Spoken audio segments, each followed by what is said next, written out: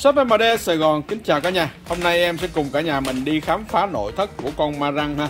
Thùng xốp có số series là 1460 cả nhà ha. Đây là thùng xốp của nó. Thì à, nhân dịp đây thì em cũng sẽ à, giới thiệu à, cũng sẽ so sánh với cả nhà mình à, con à, Tích UD 503 cả nhà ha. À, Thì à, con này thì à, hôm trước em có giới thiệu nhưng mà chưa có mã nội thất thì có bác yêu cầu được mã nội thất thì em cũng sẽ mở luôn trước tiên là mình sẽ cùng so sánh hai cái con này ha. Hai con này. Đó, thì à, đối với con à, UD 503 cả nhà ha thì nó có đường sức âm ba lăng có đường à, sức âm à, AV đặc biệt là đối với dòng 503 thì mình có đường analog in cả nhà. Là điều đặc biệt mà chỉ có dòng 503 cả nhà ha.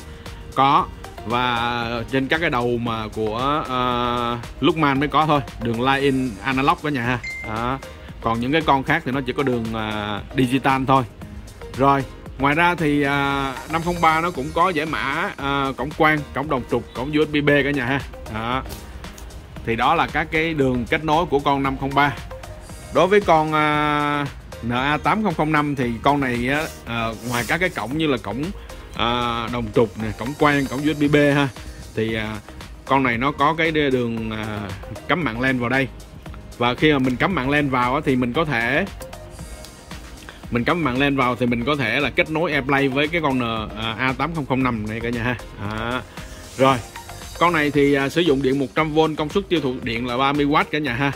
Và đây là đường à, ra của nó ha. Đây là đường analog ra của nó. Các cái chân của nó cực đẹp cả nhà ha con này được à, lắp ráp tại Việt Nam cả nhà ha lắp ráp tại Việt Nam.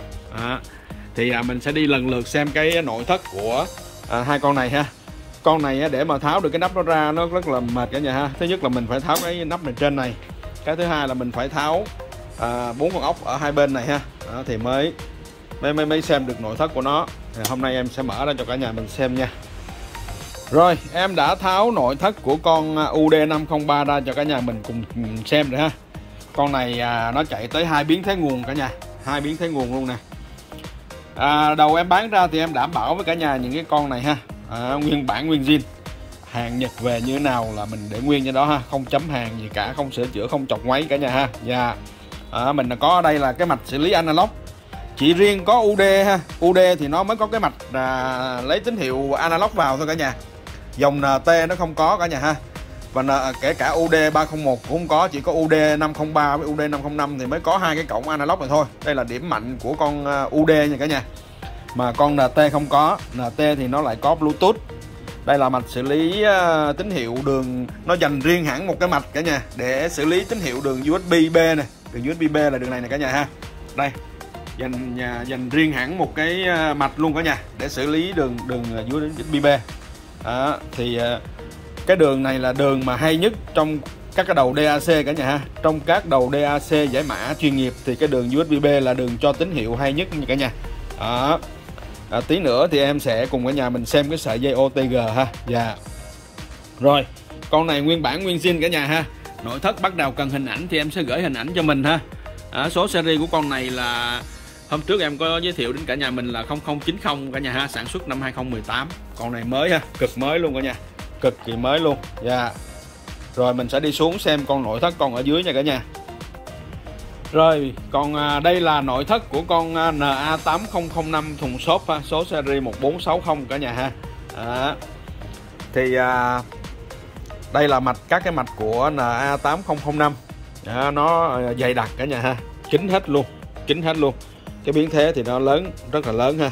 Và nhìn mới tinh ha. Dạ. Đó ruột gan mới tinh. Như là vừa xuất xưởng cả nhà ha. À, không thể mới hơn.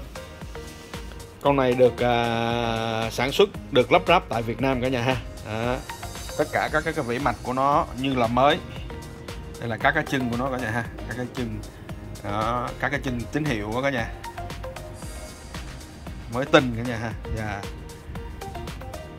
này các cái ờ, chân ốc của cái con ờ, của cái bộ phổ biến thế nguồn cả nhà. Bạn tin luôn. À, yeah. con này mới sản xuất ở đây mà. Cho nên nó còn mới.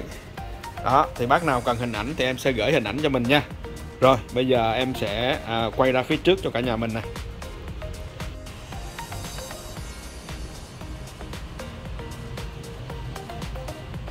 Rồi vừa rồi cả nhà mình vừa xem nội thất của hai cái đầu à, Tech UD503 ha cũng như là con à, Marang NA8005 thùng shop 1460 à, con Tech UD503 à, em bán với giá là 14,5 triệu ha.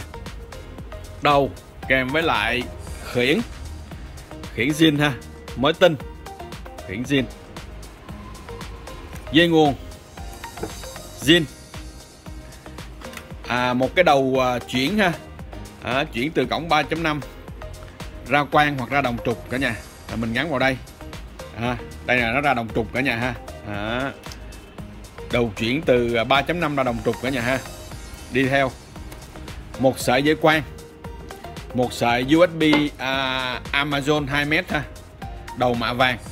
Hoặc nếu cả nhà mình không lấy hai cái món này thì trừ lại 500 còn 14 triệu ha. Dạ đơn giản thôi. Bỏ xuống. 14 triệu cả nhà ha rồi nếu như à, đó là con à, Tech UD 503 cả nhà ha 503 còn đối với con à, NA 8005 à, thùng shop này em cũng chỉ bán cho cả nhà mình với giá chỉ có 14 triệu thôi. Và cả nhà mình có thể tùy chọn lấy một cái dây à, quang và một cái USB 64GB này với giá 500 ngàn. Nếu cả nhà mình không thích hai món này thì riêng đầu không thôi ha đầu kèm khiển zin và dây nguồn. Có giá là 14 triệu cả nhà ha. 14 triệu. À, con này thì à, đọc tốt hoạt động tốt các chức năng. Em đảm bảo với cả nhà mình ha. Chế độ bảo hành vẫn là một đổi một trong vòng 7 ngày nếu lỗi cả nhà. Và yeah. có một điều à, lưu ý cả nhà mình chút xíu đó là đối với à, các cái dòng 501 503 thì à, nó không có à, kết nối với à, điện thoại bằng dây OTG được cả nhà. Em đã kiểm tra chức năng ha à, cái cổng USB-B ở phía sau của con này á, nó hỗ trợ cho máy vi tính để mà à, phát nhạc file DSD tức là sau khi kết nối cái dây cái cổng USB-B ở phía sau với máy vi tính thì cả nhà mình có thể phát nhạc à, DSD qua cái phần mềm qua cái phần mềm mà à, Fuba cả nhà ha. Qua phần mềm Fuba thì cả nhà mình có thể phát nhạc DSD qua đường USB-B đó. Chứ nó không có kết nối được với điện thoại ha, ha cả nhà ha. Ừ và cái dây OTG là gì? Nhiều bác hỏi em dây OTG là dây gì? Dây OTG là dây mà một đầu cái à, đầu hình USB-B nó như thế này để cắm vào cái giải mã. Và một đầu của nó là tai C như thế này đó. có thể cắm vào điện thoại Android cả nhà ha. Cắm vào điện thoại Android. À, em cắm vào điện thoại Android và em phát á, thì à, đây phát ở đây. Thì ở trên này nó sẽ hiện cái chữ PCM 48 kHz này ha. À, tức là nó kết nối được với dây OTG Ờ, hoặc đối với iPhone thì nó về cái đầu của nó là đầu Lightning này. Nhưng mà tùy máy nó hỗ trợ cả nhà ha. Và cả nhà mình đối với iPhone thì phải mua dây xịn cả nhà. Dây uh, của hãng á thì mới xài được. Còn dây mà mua trôi nổi thì nó không xài được ha. À, còn em thì em không có xài iPhone cho nên em không biết. À, đối với Android thì nó dễ lắm. À, cả nhà mình mua sợi dây này cắm à, phát cái đây thì bên đây nó nhận được rồi. À, cái đó là dây OTG cả nhà ha. Đây là dây OTG một đầu nó là à, đầu USB B và một đầu nó là Lightning như thế này hoặc là là à, Type C cả nhà ha. Ừ. rồi con à, uh, NA8005 này ha. À, 14 triệu. Nếu mà cả nhà mình lấy thêm dây quang và USB 64GB thì thêm 500 giúp em. Còn không lấy thì 14 triệu cả nhà ha. Bao ship cho cả nhà mình. Cả nhà mình đặt cọc 15% à, giá trị máy thì em không bao ship. Chuyển tiền đủ cho em thì em sẽ miễn phí ship cho mình và một lần nữa em xin nhắc lại ha đối với các cái đầu 501 503 cổng USB B nó không kết nối được với điện à, với cổng OTG cả nhà ha. Nó chỉ có kết nối được với máy vi tính để hỗ trợ file nhạc DSD à, về sử dụng cái con à, 503 này thì nó có các cái lưu ý như sau. Thứ nhất là đối với cái phần mà menu cả nhà mình vào trong này. Thì ở đây có cái phần headphone này ha. Headphone này mình à, chỉnh các cái chức năng ở trong này bằng cách là nhấn vào đây à, thì nó sẽ có các cái tùy chọn cho cả nhà mình ha. À, stereo thì cả, cả nhà mình stereo thì nghe một kênh ha. À, hoặc là cả nhà mình nghe ba lăng nghe hai kênh. Đó. đó đây là stereo. Rồi mình khi mình chọn xong cả nhà ha sao mình chọn không mà mình nhấn chọn thì nó sẽ đây. À, mình sẽ nhấn à, vào để tùy tùy chọn ha nó hiện cái mũi tên này mình tùy chọn nè. Rồi mình chọn stereo cả nhà ha. À, rồi mình nhấn một cái nữa để xác nhận lệnh là ok. Rồi bây giờ qua chức năng khác là chức năng up convert tức là à, tín hiệu vào nó sẽ up lên. Cả nhà mình muốn chỉnh thì cả nhà mình sẽ à, nhấn vào cho em một cái nó hiện cái mũi tên này. Cả nhà mình xoay ha xoay để chọn ha. Trong đây nó có các cái tùy chọn. Cả nhà mình à, tùy chọn nào mà nghe mình thấy nghe hợp nhất thì cả nhà mình chọn nha. Rồi giả sử em chọn DSD thì em nhấn một cái để xác nhận à, nó mất cái nút mũi tên đi là nó đã xong. Rồi qua cái chế độ PCM Digital Filter chế độ này cũng thế cả nhà ha. Cả nhà mình muốn chọn thì cả nhà mình nhấn vào đây cho nó hiện cái mũi tên này ra rồi mình xoay mình chọn cái chế độ nào mà mình à, cảm thấy thích hợp ha à, cảm thấy mình nghe à, thích hợp. Giống như ở đây là à, filter sharp thì nó sẽ sắc nét ha.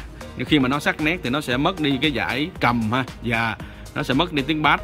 Hoặc là à, filter slow thì nó sẽ chậm lại cả nhà ha tiếng nó sẽ chậm rãi lại. Đó thì cả nhà mình tùy chọn cái à, cái à, cái chế độ lọc nào mà cả nhà mình nghe cảm thấy ổn nhất phù hợp với cái à, không gian của mình nhất thì mình à, sử dụng nha cả nhà.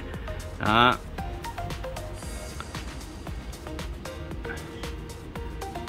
rồi tiếp tục. Đó là chế độ à, à digital filter kết up tần số à, cắt tần số cả nhà ha. Thì ở đây cũng vậy. Mình à, nhấn vào để mà cho nó vào tùy chọn.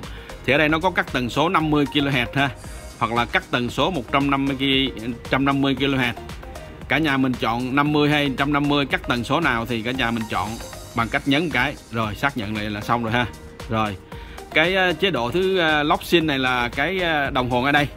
À, khi mà cả nhà mình chọn vào đây á, chọn on á thì khi mà có cái tín hiệu kết nối thì nó sẽ sáng cái đồng hồ này ha. À, còn nếu mà không có tín hiệu kết nối thì đồng hồ nó sẽ nhấp nháy.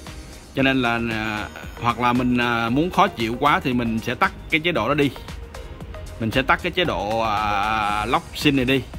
À, tùy cả nhà mình ha. Đó. Khi khi cả nhà mình chọn on thì nó sẽ sáng nhấp nháy cái đồng hồ này đó nhấp nháy cái đèn này ha. Đó. rồi tiếp tục. À, tới đường layout. Cả nhà mình muốn chọn à, đường ra thì cả nhà mình nhấn vào đây giúp em. Thì nó hiện cái mũi tên cả nhà mình sẽ chọn là ra RCA hoặc là ra ba lăng ha. À, thì nó nó ra chỉ chỉ à, chỉ là ra RCA hoặc là ra ba lăng cả nhà ha. Không ra cùng lúc hai đường được cả nhà. Nếu mình chọn RCA thì mình nhấn cái cho nó mất cái mũi tên là xác nhận cái lệnh đó rồi. Xong. À, tới cái phần mà à, chỉnh âm lượng cả nhà ha. Rồi để mà vào tùy chọn cả nhà mình nhấn một cái cho nó hiện cái mũi tên. Thì ở đây là variable là nó cho phép mình chỉnh âm lượng lớn nhỏ bằng cái nút này. Còn nếu như cả nhà mình muốn để ở chế độ off thì nó sẽ không chỉnh âm lượng ha. Nó sẽ uh, không cho mình phép mình chỉnh lớn nhỏ. Hoặc cả nhà mình có chọn có thể chọn chế độ fix bằng 0 decibel tức là nó sẽ nghe bình thường.